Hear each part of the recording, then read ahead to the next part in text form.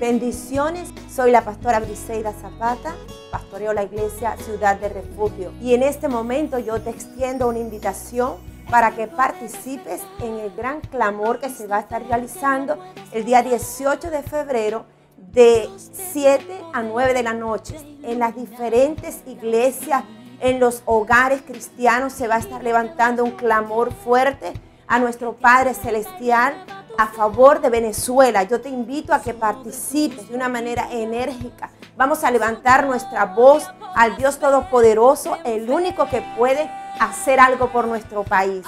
Yo creo que Venezuela, en Venezuela vienen tiempos de gloria, vienen tiempos de cambio.